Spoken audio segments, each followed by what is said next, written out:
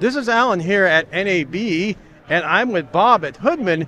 And what you have here is something I have been wanting for a long time, and that is a viewfinder made from a essentially an LCD panel, you know, a little monitor. But this is a five-inch monitor, and I said, wouldn't it be great with a 1080p screen to put a Hoodman on it? And you've done that. What's great about it, Alan, is we took our existing optics from one of our other products and connected it to a flange that would flare out to the size of a five inch. Because we found that people not only need a hood, but they also want to be able to look at focus, line up, Absolutely. and really have a critical eye to be able to see as well as block all the sun off the screen. So that's what you see here for the first time, and it gives you the ability to do that. Well, the big problem I've had with electronic viewfinders, if they're in under a thousand dollars, they're 720p or lower. Exactly. And to have a 1080p viewfinder, the cheapest one I've seen at the show is $1,500.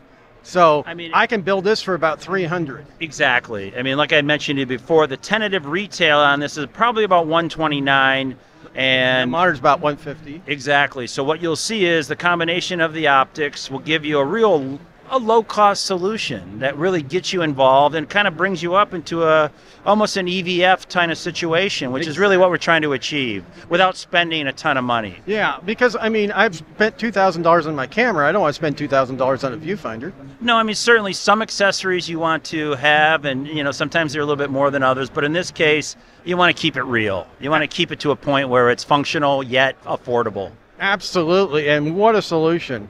I mean, uh, I looked through this thing, and it's just nice and sharp, and I could easily pull focus with it. Well, what's nice about it is, like yourself, you're wearing glasses. Most people have eye, some sort of eye correction. In this case, we have an optic with a diopter. So not only are you eliminating the glare, you're focusing your eye particularly to that particular device that you're looking at.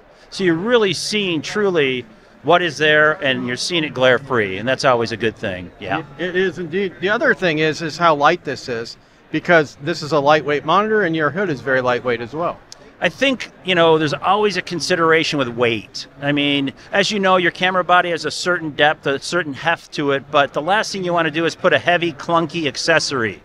You know, accessories are accessory, but once we keep it in a light range, it really makes more functional. It's easier to use. It's less for you to carry around if you're backpacking or whatever you're doing, going to a location. That's a good way to keep it light, and that's what you see here. These are all.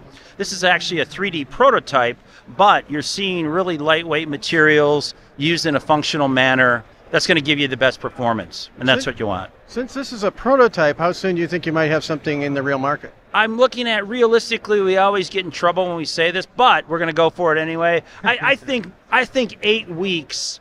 You know, I can put out three week. I'm sorry, 3D print pieces. But what we want to see is probably about since we have half of it already solved. Right. This second half is really the easy part of it, and it's going to be something in probably about six to eight weeks. I should see it Wow. in production, ready to go. So by Awesome. summertime, somewhere in the summer, yeah. Awesome, Yeah. awesome, and I can't wait to try it.